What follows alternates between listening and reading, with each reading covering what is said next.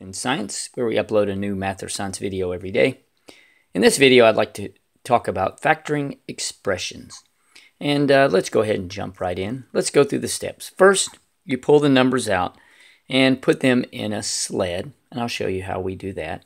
And then you find the greatest common factor, or the GCF, and then you write the GCF in front of the parentheses, and then you write the numbers or variables inside the parentheses along with the addition or subtraction sign between. Before we get started, let me um, refresh your memory on when I say put it into a sled.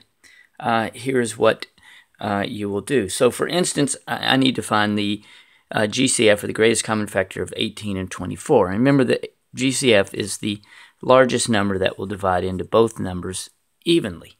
Okay, so here's the sled I was talking about and um, you put it the number that goes on the outside is what will divide evenly into both of these.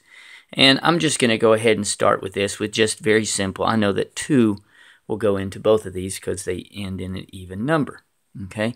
And if you want to you can use a larger number but 2 will work. So 2 goes into 18 9 times and 2 goes into 24 12 times okay? So I'm not finished yet. Next I what will go into 9 and 12 even, evenly, and that is 3. So 3 goes into 9 three times, 3 goes into 12 four times. Okay. Now at this point, the only number that will go into both of these evenly is 1. So to find the GCF, all I do is I take the numbers on the outside and multiply them together. 2 times 3 times 1 is 2 times 3 is 6, and 6 times 1 is 6. So that's your GCF. Now, it works really well. In fact, uh, say we have these two larger numbers. I will write them under the sled, okay? And I'm going to start with 2 again. You can start with a larger number, but I know 2 goes into 160, what is that, 80 times. And let me draw a sled. And 2 goes into 144. I know that 7 times 2 is 14, and 7, 2 will go into 4 two times. So now, again, I can use 2 again. 2 goes into 80, 40. And 2 goes into 72. What is that? 36 times. Okay. And so now I know that 2 will go into it again. So that's 20 and 18. And then at this point, uh, let's see, what will go into 20 and 18? Um, 2 again. So now we have 10 and 9. And at this point, we are down to the only number that will go into it is 1. So uh, 1 times 10 and 1 times 9. So now I just pull the numbers on the outside. So we have 2 times 2 times 2 times 2 times 1, which is 4 times 2, which is equal to, so we got 2 times 2 is 4, and then Another 2 is here. That's 8. Times 2 again is 16.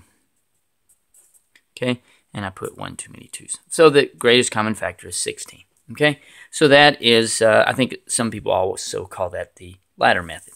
So now let's get to um, factoring the expression. So now we have 48 and 72. I pull them out, put them in a sled.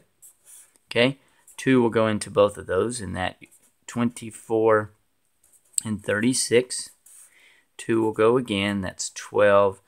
And what is that? 18.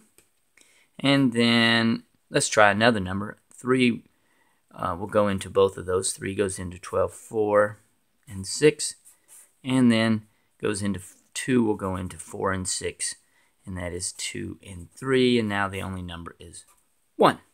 Okay, so now I have 2 times 2 times 3 times 2 times 1. 2 times 2 is 4. 4 times 3 is 12. 12 times 2 is 24.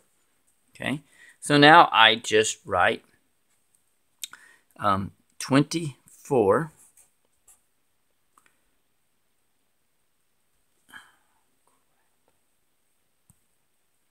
So now I write 24 on the outside and then 24 will go into 48C 2C plus 24 will go into 72 3.